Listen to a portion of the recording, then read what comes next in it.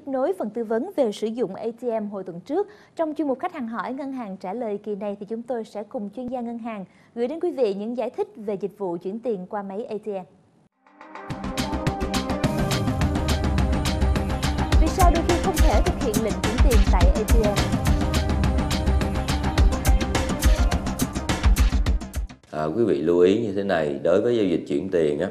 thì nó sẽ có hai loại một loại là giao dịch chuyển tiền nội bộ trong ngân hàng của chúng ta là ngân hàng phát hành thẻ của chúng ta đó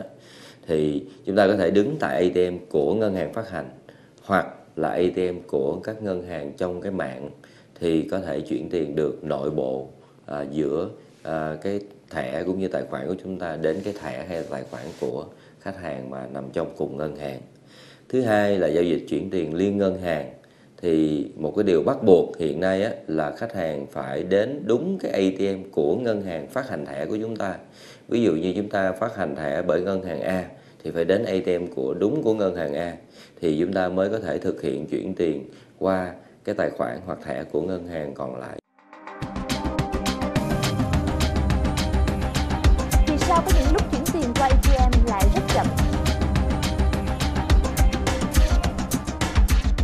Thì à, bên cạnh cái việc à, phân loại hai cái loại chuyển tiền